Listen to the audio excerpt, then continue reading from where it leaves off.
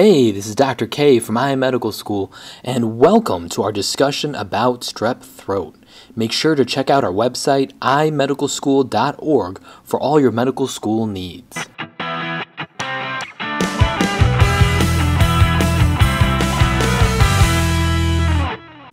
One of the most common complaints in a primary care doctor's office is a sore throat. We call this symptom pharyngitis. There are many causes for pharyngitis, with infectious causes being of greatest concern. Infectious causes can range from viral to bacterial infections. One of the most important infectious causes of pharyngitis to identify is group A streptococcus. The reason it, is important to identify the cause of pharyngitis is proper treatment can reduce the risk of acute rheumatic fever, which we will talk about later. Despite the fact that viruses are the most common cause of pharyngitis, 60% of patients receive antibiotics for a sore throat. A better understanding of the causes of pharyngitis will help prevent antibiotic overuse and appropriately treat patients who are at risk for acute rheumatic fever. Though we will not discuss them today, it's important to have a broad differential when evaluating pharyngitis. Besides group A strep, other causes include HIV, influenza, infectious mononucleosis or mono, HSV, Neisseria gonorrhea, Chlamydophila pneumoniae, and even tularemia. The most common non-infectious cause of pharyngitis are allergies. Group A streptococcus is one of the most important infectious causes of pharyngitis to identify because if not treated, group A strep can lead to acute rheumatic fever. Up to 15% of patients who present with pharyngitis come back positive for group A strep on throat cultures. To help us identify patients with group A strep, we look for a set of signs and symptoms that together are called the Centor criteria. The Centor criteria consist of whether the following are present tonsillar exudates, tender anterior cervical adenopathy, fever, and absence of cough. Those who meet 0 to 2 criteria are unlikely to have group A strep pharyngitis. For patients who have 3 or more criteria, these patients should undergo rapid antigen detection test. If the rapid antigen detection test is negative, they are unlikely to have group A strep, as these rapid tests have a high negative predictive value.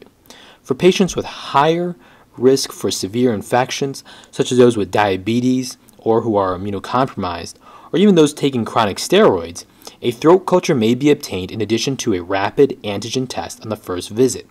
It is important to help identify severe forms of group A strep pharyngitis as complications can result.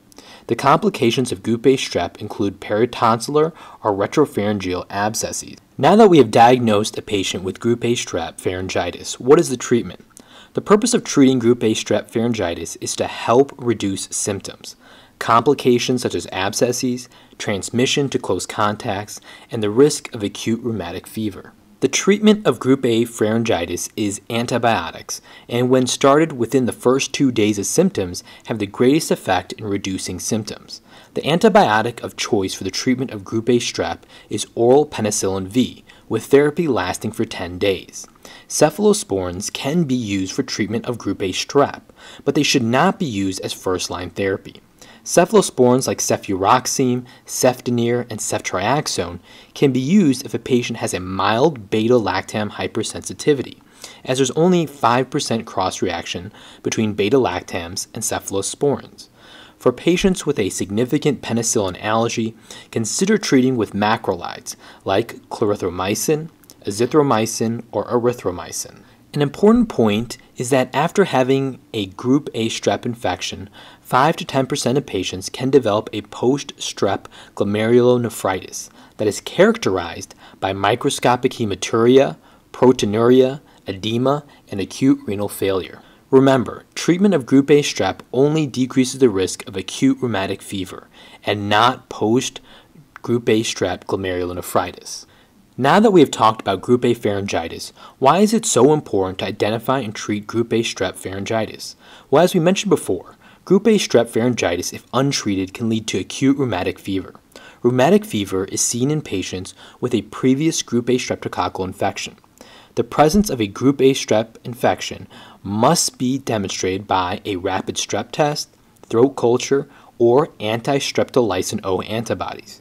Anti-streptolysin O antibody is an antibody produced by the body against an exotoxin produced by most strains of group A strep, and indicates a previous group A strep infection. Rheumatic fever is diagnosed based on certain criteria. There are major criteria and minor criteria. For the diagnosis of acute rheumatic fever, a patient must meet two major criteria or one major and two minor criteria.